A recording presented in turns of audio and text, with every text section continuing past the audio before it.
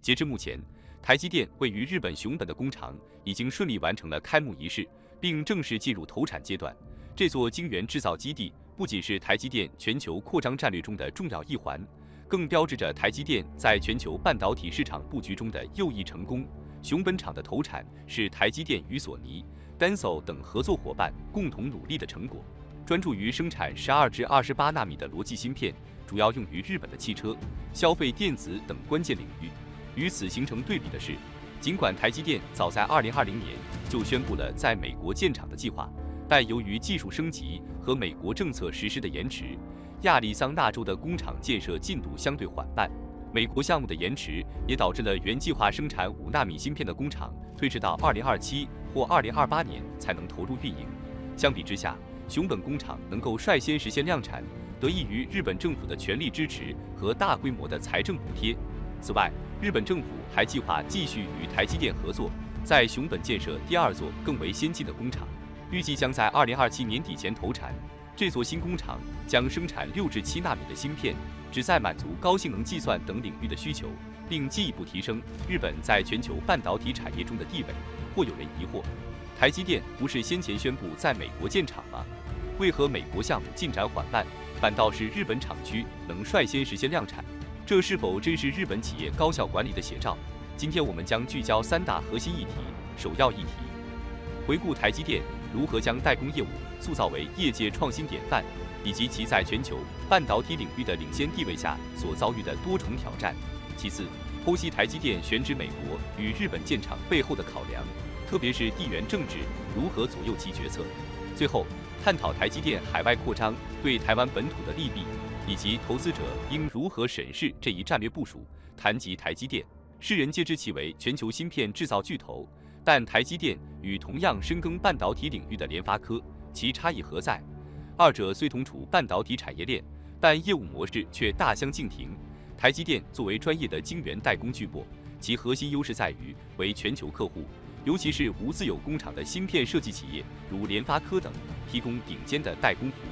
设计公司将精心设计的芯片蓝图交付台积电，后者则运用尖端设备与技术，在自家晶圆厂中打造出高质量的芯片成品，最终推向市场，满足全球消费者的需求。台积电凭借其卓越的技术实力与高效的生产体系，赢得了全球客户的信赖，并促进了半导体产业链的全面繁荣。而这一切成就，均源自其开创性的晶圆代工模式。这一模式不仅重塑了行业格局，更为半导体领域的发展注入了不竭动力。台积电初创之时，便秉持着前瞻性与创新性的核心理念。彼时，半导体业界普遍遵循垂直整合模式。台积电却独树一帜，开创了晶圆代工新纪元。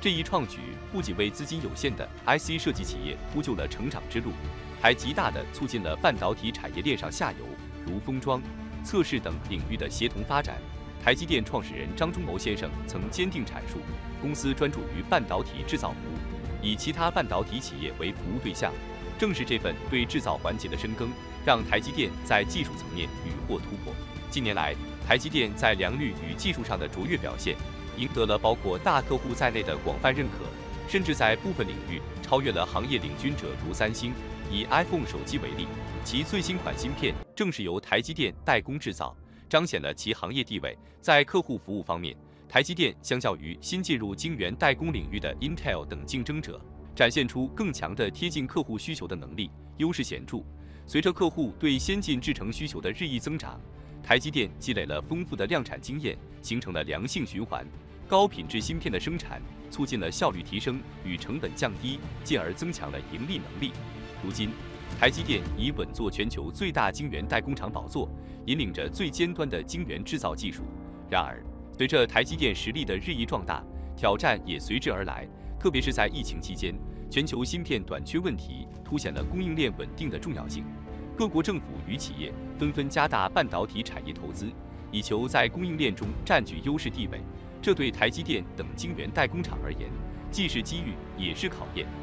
台积电创办人张忠谋先生曾明确指出，台积电已成为科技领域的战略高地。这一地位的确立，是台积电科技实力领先的直接体现，也是在全球科技竞赛中占据重要一席的有力证明。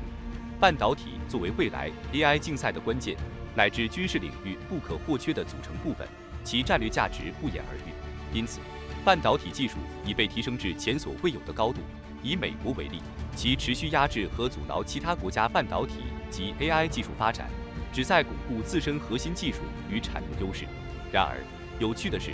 台积电并未将美国作为海外扩张的首战，而是将目光投向了日本。这一决策背后，是日本政府将半导体产业提升至国家经济安全战略高度的布局。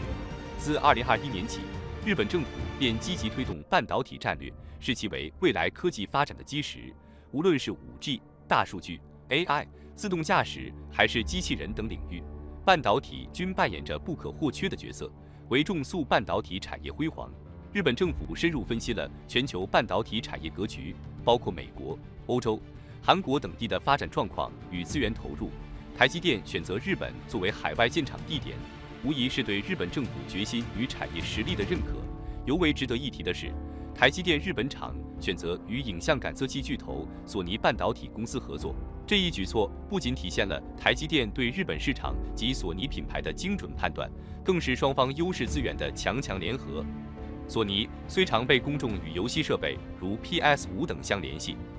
但其在影像感测器领域的卓越成就同样显赫。作为苹果供应链的关键一环，其技术实力备受业界赞誉。台积电选择日本，不仅因为索尼这一稳固的合作伙伴确保了市场需求的稳定，更因为日本在半导体人才与技术方面的深厚积累。因此，台积电熊本厂计划招募一千七百名员工。这一举措不仅彰显了台积电对人才的高度重视，也预示着该厂将具备强大的研发与生产能力，为未来发展奠定坚实基础。此外，台积电在仙台市设立了研发中心，携手日本材料厂商，共同致力于新一代半导体材料的研发。此举彰显了台积电对日本半导体材料技术的认可与尊重。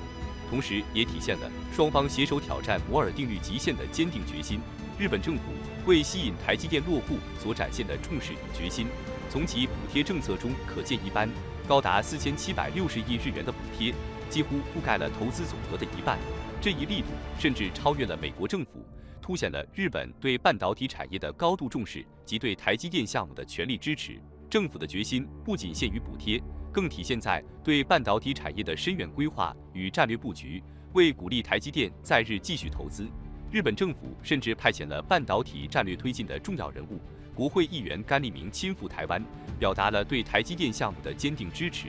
甘利明作为该领域的关键人物，其行动无疑为台积电在日本的发展注入了更强信心。台积电位于日本熊本的首座工厂于2024年正式投产。预计在未来两年内将为熊本经济带来高达新台币三千八百亿元的经济效益。这一巨额数字不仅彰显了台积电在推动当地经济发展方面的巨大影响力，还预示着日本在重振其半导体产业领域所制定的宏伟蓝图和坚定决心。熊本工厂的成功投产是台积电全球扩张战略中的重要一步。这一战略不仅涵盖了日本。还延伸到了美国和德国，展现出台积电在全球范围内不断拓展其生产布局的强大实力。通过在这些关键市场设立先进的制造设施，台积电不仅巩固了其在全球半导体市场的领导地位，也为应对未来可能的供应链挑战奠定了坚实的基础。在日本，政府的大力支持和巨额财政补贴进一步推动了台积电项目的快速落地。预计未来。台积电还将在熊本建设第二座更为先进的工厂，以生产高性能计算所需的六至七纳米芯片。这不仅将进一步提升日本在全球半导体产业链中的地位，也将使熊本成为日本科技产业的重要支柱。随着这些新设施的投产，台积电的全球扩张势头愈发不可阻挡。这种战略性布局不仅反映了台积电在半导体行业内的雄心壮志，还进一步稳固了其在全球市场的竞争优势。使其在未来的技术创新和市场拓展中处于更加有利的位置。假如你是台积电的小股东，这样的海外扩张你会怎么看呢？台积电决定走出台湾，在海外设立工厂，这一战略背后蕴含了多重深远的考量。尽管从表面上看，海外设厂涉及更高的人力与建厂成本，且初期营运效率可能不及本土工厂。加之不同环境带来的法规适应与劳工关系挑战，都让人对其盈利前景产生疑虑。然而，台积电对此有着清晰的战略蓝图与坚定信心。他们认识到，海外扩张不仅是地理上的拓展，更是技术与管理的飞跃。尽管过程中需经历学习与适应的阵痛，但台积电坚信这一决策基于长期规划，能够助力其保持并提升高毛利率。正如近年来稳定在百分之五十以上的业绩所证明，对于小股东而言，或许无需过分忧虑盈利问题，而应关注更宏观的层面。台积电将先进制程分散至海外，虽可能削弱台湾在半导体产业的独特地位，但此举旨在吸引全球顶尖人才，为公司的长远发展注入新动力。在全球人才竞争日益激烈的背景下，这一战略显得尤为关键。长远来看，台积电的海外扩张为台湾企业树立了典范，展现了在全球经济一体化中勇于开拓、拥抱世界的勇气。若台积电能在海外成功运营，并有效利用各国人才资源，将有望成为真正的全球性企业，为台湾企业树立标杆。当然，挑战与风险并存，台积电需积极应对，把握机遇，同时加强与股东的沟通，让股东更深入了解公司战略与未来规划。作为小股东，自然期待台积电能持续优化治理结构，提升透明度，确保股东利益最大化，以实际行动回应股东的支持与期待。好了。本期内容到此结束。对于这些信息，我们非常欢迎大家在评论区分享你们的看法和讨论。如果对于内容有任何补充或不尽完善之处，也请在评论区留言，以便我们进行更新和完善。我是环宇哥，咱们下期再见。